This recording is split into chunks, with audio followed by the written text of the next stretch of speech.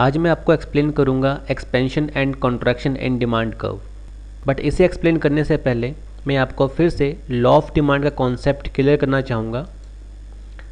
Law of demand says other things remaining the same if price goes up demand goes down and if price goes down demand goes up it means price and demand के बीच में inverse relationship है। तो इसको ध्यान में रखते हुए अब मैं आपको expansion and contraction in demand कब एक्सप्लेन करता हूँ?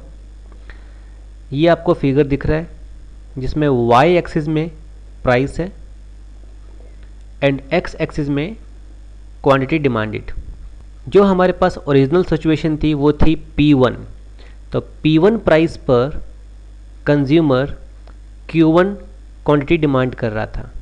अब हम एज्यूम करते हैं कि price of the product decrease हो गया।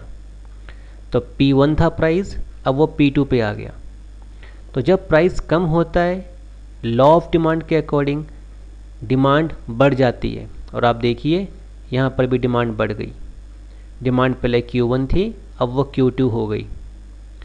तो इस पॉइंट से डिमांड बढ़ के इस पॉइंट तक आई, जिसे कहा जाएगा एक्सपेंशन इन डिमांड कर्व अब हम दूसरी सिचुएशन लेते हैं कि प्राइस P1 था, लेकिन अब यहाँ से वो इंक्रीज़ हो गया।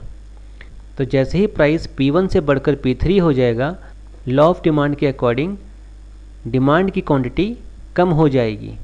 और आप यहाँ देखिए क्वांटिटी डिमांडेड Q1 से कम होकर Q3 हो गया।